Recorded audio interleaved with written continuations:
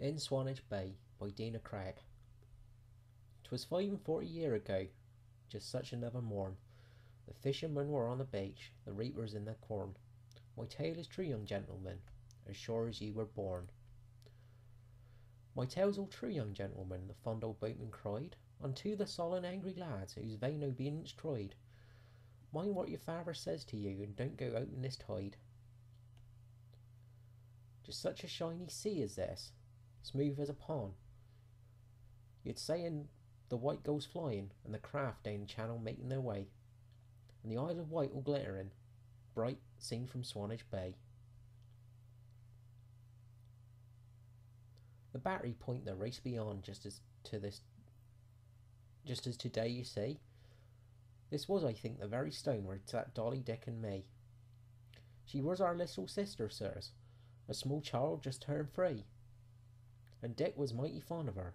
A big lad and bold, he'd carry her like any nurse, almost from birth, I'm told. For mother sickened soon and died when Dolly was eight months old. We sat and watched a little boat, her name was Tricksy Jane. A queer old tub laid up ashore, but we could see her plain. To see her, uh, to see her not all her up, cost us a dis. To see her not all her up, cost us a deal of pain. Said Dick to me, let's have a pull. Father'll never know. He's busy in his wheat up there, and cannot see us go. These lands are such a. These lands. These landsmen are such cowards. The puff of wind up blow. I've been to France and back three times. Who knows best, Dad or me? Whether a craft seaworthy or not? Dolly will go to sea.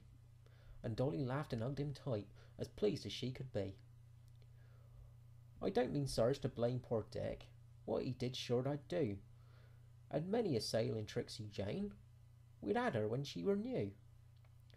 Father was always sharp, and what he said he meant it too.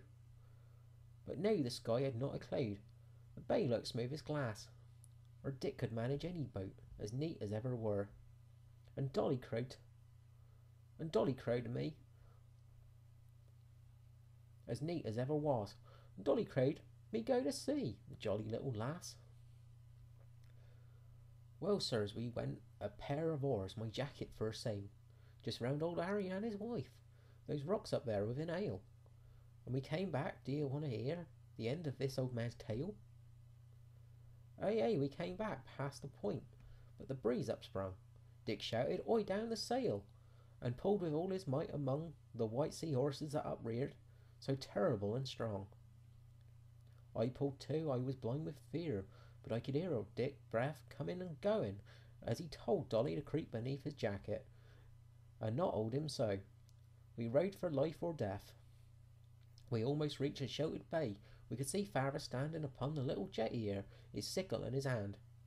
The house is white, the yellow fields, and the safe and pleasant lands. And Dick, though he was pale as any ghost, had only sighed to me. We're right now, old lad. When up a wave rolled, drenched us free on one lurch, and then I felt the chill and roar of the binding sea. I don't remember much but that, you see. I'm safe and sound. I've been wrecked four times since then. Seen queer sights, I'll be bound. I think folks sleep beneath the deep, as karma's underground. But Dick and Dolly? Well, poor Dick, I saw him rise and cling onto the gunwale of the boat, float and keel up, and sing out loud, Where's Dolly? I hear him yet, as clear as anything. Where's Dolly? I no answer made, for she dropped like a stone, down through the deep sea, and it closed. A little thing was gone. Where's Dolly? Three times then Dick loosed old. The little thing was gone. Where's Dolly? Three times then Dick loosed his old, and left me there alone.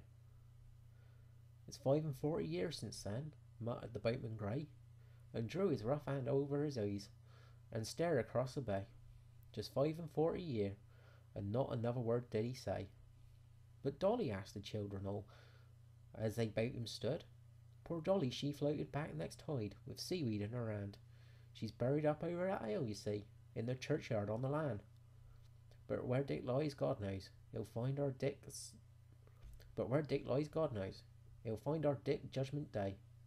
The boatman fell to mending nets. The boys ran off to play, and the sun shone and waved, and the sun shone and the waves danced in quiet Swanage Bay.